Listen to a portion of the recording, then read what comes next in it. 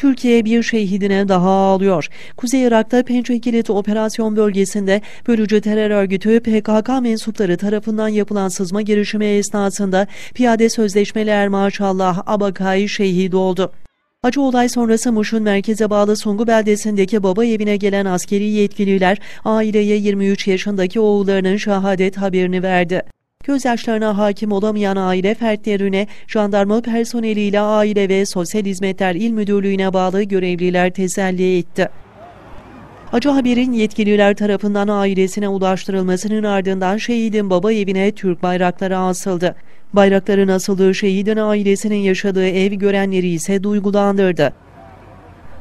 Milli Savunma Bakanlığı'ndan yapılan yazılı açıklamada ise bizleri derin bir acı ve üzüntüye boğan bu olayda hayatını kaybeden aziz şehidimize Allah'tan rahmet, kederli ailesine, Türk Silahlı Kuvvetleri ile asil milletimize başsağlığı ve sabır dileriz ifadelerine yer verildi.